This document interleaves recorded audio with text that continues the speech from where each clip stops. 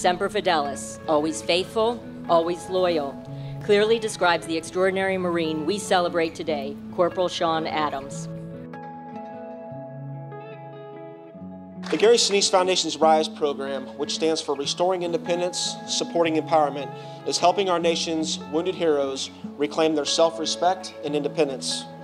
Too often, we take for granted the fact that our freedom and security is fought for, provided, and sacrificed for through the service of a brave and courageous few. We at the Gary Sinise Foundation take great pride in being there for the veteran and their family before, during, and after the battle.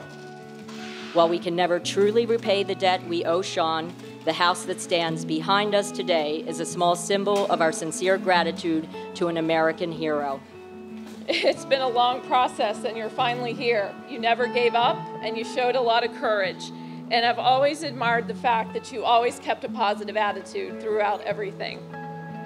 I want to tell you, Sean, from one combat veteran to another, you deserve this.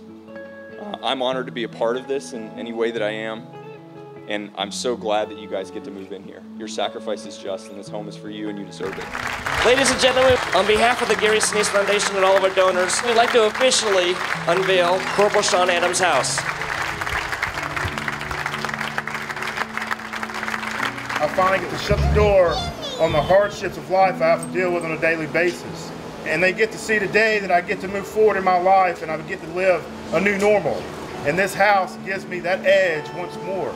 It gives me another tool in the box to continue to give back to the country I love so much. And just, just thank you. We would all like to officially present you with the iPad that controls your house. This is a uh, place of healing. It's that next chapter in life. I can finally shut the door of all the hardship I had to deal with. And, uh, you know, this house, the shop, the land, it gives me something to do. May it be working on the land, doing some fence work, the, the technology of the house. Um, it'll help me through my daily routines. I would like to have the Marines that served with you to come on up here, please. The gentleman I was hugging with a hat on, um, I haven't seen him in five over five years now. And that's why it was a relief to see him because I knew he was hurting because of me. And that was killing me because I knew I was holding him back. That means the world to me. Just to see him out here with his family, you know, and happy and smiling, you know, he's looking good, you know, and great feeling. Sir, I'd like to present you with the flags that you guys are going to go raise for the first time on his flagpole.